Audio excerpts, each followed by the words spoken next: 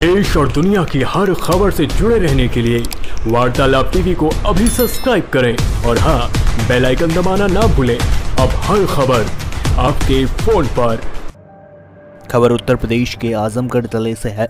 आजमगढ़ के थाना पबई पुलिस ने सराफ माफिया व डी चौहत्तर गैंग के लीडर मोतीलाल गुप्ता निवासी मित्तुपुर के खिलाफ कुर्की की कार्रवाई की है।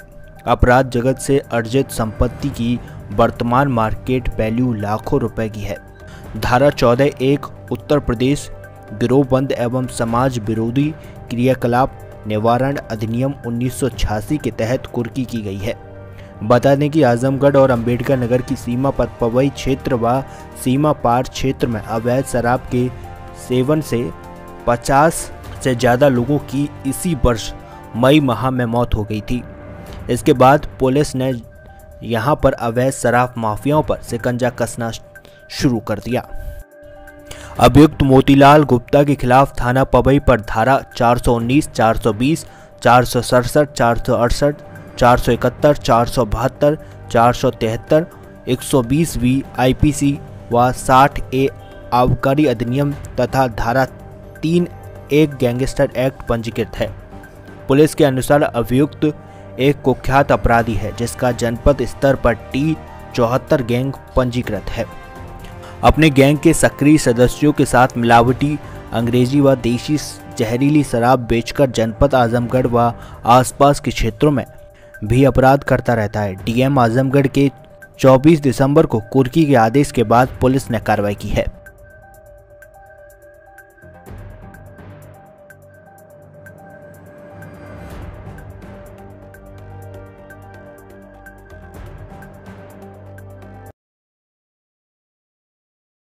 जनपद आजमगढ़ में आपराधिक तत्व और शराब माफियाओं के विरुद्ध चलाए जा, रहे अभियान के अंतर्गत डी चौहत्तर गैंग जो जनपद में अवैध शराब के कारोबार के संबंध में पंजीकृत गैंग है इसके गैंग लीडर मोतीलाल गुप्ता की आज लगभग 12 लाख के करीब की संपत्ति को 14 एक गैंगस्टर एक्ट के तहत कुर्क किया गया है।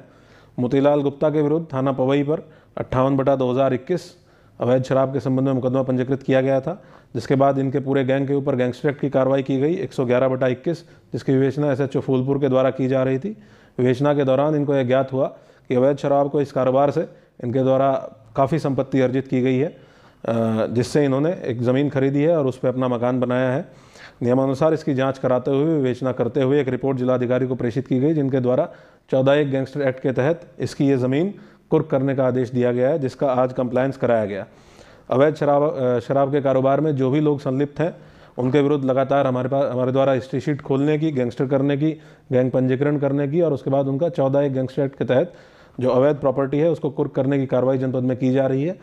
आगामी चुनाव को दृष्टिगत रखते हुए हम ये सुनिश्चित कराएँगे कि किसी भी प्रकार का अवैध शराब शराब का कारोबार जनपद में किसी भी प्रकार से ना चलने दिया जाए, और जो भी लोग इसमें संलिप्त हैं, उनके विरुद्ध कठोर कार्रवाई लगातार पुलिस करती रहे।